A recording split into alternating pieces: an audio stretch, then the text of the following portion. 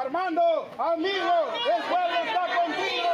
Armando, amigo, el pueblo está contigo. Por segunda ocasión, la defensa del alcalde de La Paz Centro, Armando Girón, solicitó la suspensión de la audiencia especial de declaración indagatoria debido a que el edil no fue trasladado desde el centro penal al juzgado de instrucción de San Luis Talpa, ubicado en La Paz Oeste. Desconocemos cuáles son los motivos por los que no lo están dejando salir.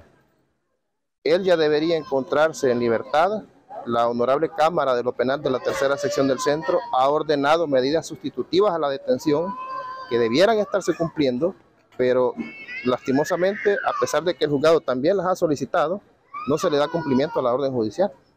El alcalde de La Paz Centro, por el partido Gana, es acusado de incendio y actos arbitrarios tras supuestamente ordenar la quema de unas ramadas frente al turicentro de la Costa del Sol, las cuales eran propiedad de un grupo de vendedores que estaban siendo desalojados por petición del Instituto Salvadoreño de Turismo.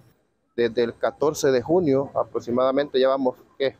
Casi tres meses y no lo han puesto en libertad, entonces esperamos que se le dé cumplimiento a esa orden y que recupere su libertad. Por favor, no, no sean injustos y liberen a nuestro alcalde, lo necesitamos. Todas nuestras calles de nuestras comunidades están hechas nada. ¿Por qué? Porque no tenemos el alcalde que nos pueda respaldar con nuestras comunidades. La PNC detuvo a Girón y a César Augusto Ticas, jefe de catastro de la alcaldía, el pasado 14 de mayo.